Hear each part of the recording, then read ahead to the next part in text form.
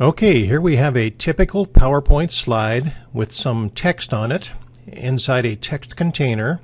And if we bring our cursor in and click somewhere inside that text, we see these dashed lines appear around the text container. And if we now want to do something to the entire body of text inside that container, we might select it all by dragging the cursor over it.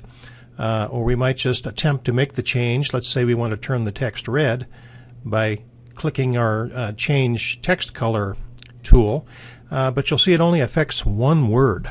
Let's get rid of what we just did by pressing Control Z. And here's a little tip.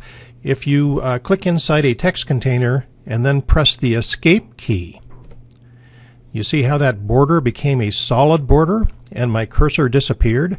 That means the entire container has been selected.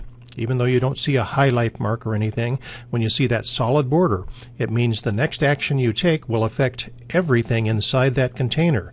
So now if we want red text, I click our uh, change color tool and it all becomes red. So that's using the escape key to select a text container.